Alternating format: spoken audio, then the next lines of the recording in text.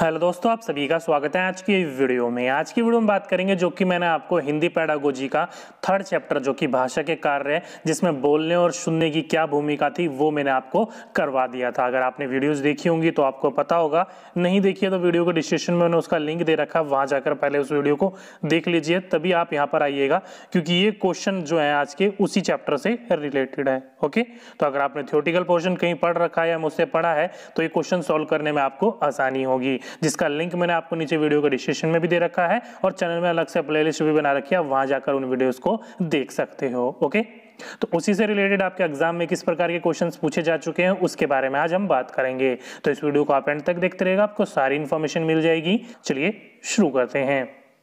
पहला क्वेश्चन क्या बोल रखा है? अशु भाषण प्रतियोगिता भाषा के किस कौशल में विकास में सहायक है? तो यानी कि आपका कोई अनुभाषण प्रतियोगिता करवाई जा रही है और आपके किस विकास में सहायक होगा आपका? श्रवण कौशल में, मौखिक अभिव्यक्ति कौशल में, पठन कौशल में या लेखन कौशल में? तो ध्यान रखिए किस चीज़ की भाषण कराई जा रही है? भाषण प्रतियोगिता करवाई जा रही है। तो किस चीज़ का विकास होगा? तो नॉर्मल सा क्वेश्चन है आपका, श्रवण का विकास होगा मतलब श्रवण कौशल का विकास होगा।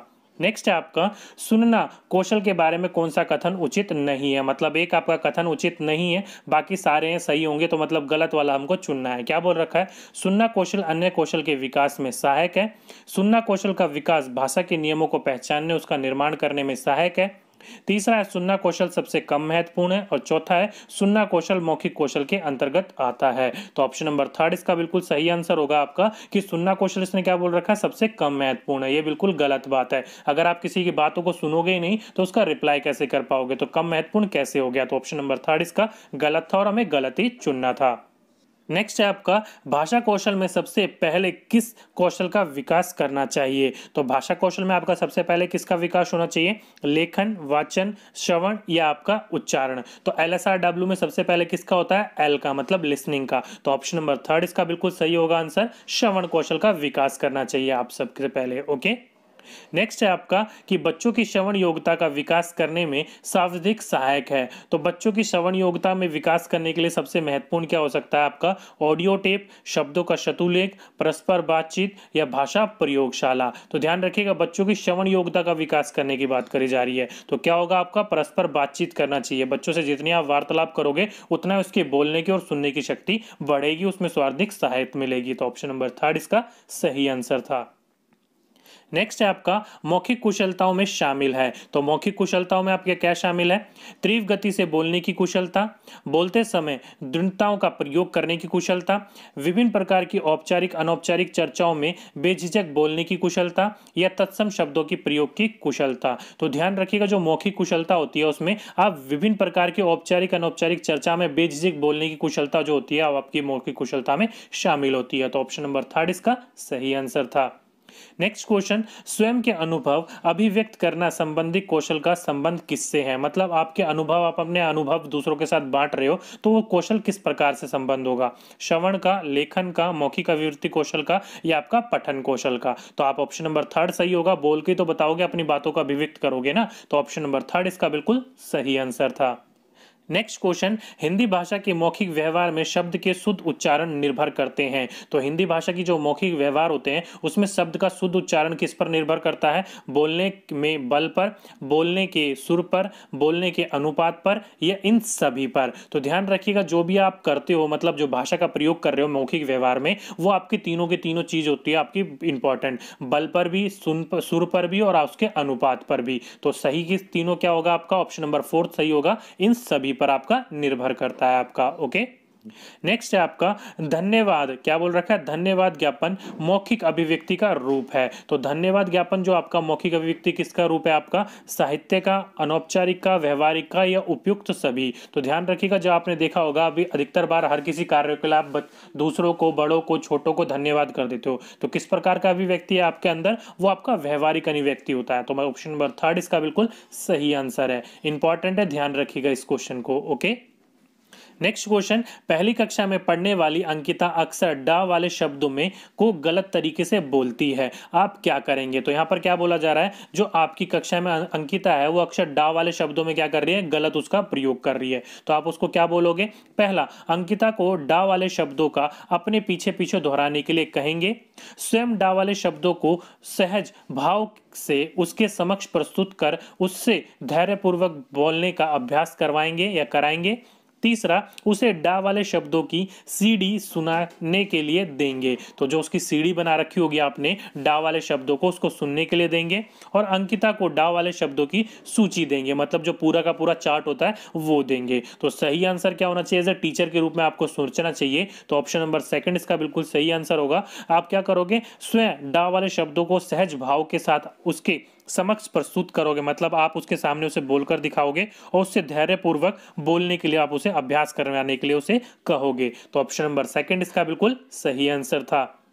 नेक्स्ट क्वेश्चन लगभग दो साल के बच्चे तार वाली भाषा, यानी कि जो टेलीग्राफी स्पीच होती है, मैंने पैडागोजी में बताया था, आपको क्या होता है ये आपका ओके का प्रयोग करने लग जाते हैं। कितने साल के बच्चे? दो साल के बच्चे। दो क्वेश्चन हो गए यहाँ से। आपका टेलीग्राफी स्पीच जो होती है, वो कब इस्तेमाल करना शुरू कर देते हैं बच्चे? तो दो साल के बच्चे जो होते हैं, वो इस्तेमाल करना शुरू कर देते हैं। पैडागोजी का क्वेश्चन है, ध्यान रखिएगा, बहुत इंपॉर्टेंट है ओके तो टेलीग्राफी स्पीच जो प्रयोग करना कर देते हैं तार वाली भाषा का अर्थ कहाँ से होता है आपका? संक्षिप्त संक्षिप्त वाक्य का प्रयोग करना।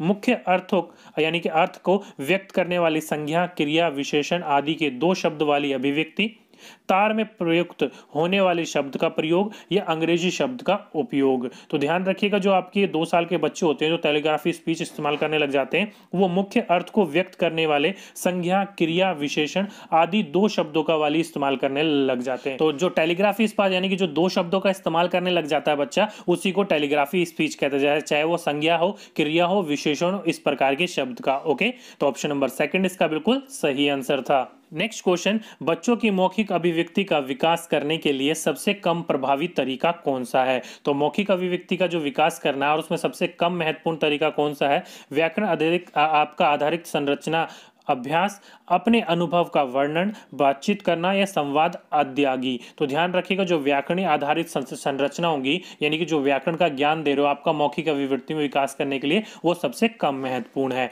तो ऑप्शन नंबर फ़र्स्ट, इसका बिल्कुल सही आंसर था आपका। नेक्स्ट क्वेश्चन क्या बोल रखा है? कलिका हिंदी भाषा में बोलते समय कई बार अटकती है। आप क्या करेंगे? तो आपकी क्लास में एक विद्यार्थी है कलिका, वो क्या करती है? हिंदी भाषा को बोलते समय क्या बात कहती है? बीच बीच में हकलाती है या अटकती है? तो आप उसके लिए क्या करोगे? उसे प्रभावपूर्ण अभिव्यक्ति यानी कि, के नमूने सुनाएँ और कहेंगे कि उसे भी हूबहू ऐसे ही बोलना है। दूसरा, कक्षा के बाकी बच्चों से कहेंगे कि कलिका के समक्ष प्रभावपूर्ण अभिव्यक्ति के लिए नमूने प्रस्तुत करें। तीसरा, कक्षा में केवल कलिका को ही बार बार बोलने के लिए कहेंगे और चौथा, धैर्य रखते हुए उसे सहज अभिव्यक्ति के लिए प्रोत्साहित करेंगे। तो ऑप्शन नंबर फोर्थ इसका बिल्कुल सही आंसर होगा आपका। आप अपने अंदर धैर्य रखते हुए, सहज करते हुए उसे क्या बोलेंगे? अपनी बातों को प्रस्तुत करने के लिए उसे नए से नए मौके करेंगे देंगे और उसको प्रोत्साहित करेंगे, उसे मोटिवेट करेंगे बातों को सही तरीके से बोलने के लिए। तो ऑप्शन नंबर फोर्थ इसका बिल्कुल सही आंसर था। नेक्स्ट क्वेश्चन उच्चारण कौशल की परीक्षा किससे से ली जा सकती है? तो उच्चारण कौशल की जो परीक्षा होती है, वो किससे ली जा सकती है? लिखित से, मौखिक से निबनात्मक से या वस्तुनिष्ठता से? तो ध्यान रखिएगा, उच्चारण मतलब बोलने की बात करी जा रही है। तो मौखिक परीक्षा से ली जा सकती है तो ऑप्शन नंबर सेकंड इसका बिल्कुल सही आंसर था।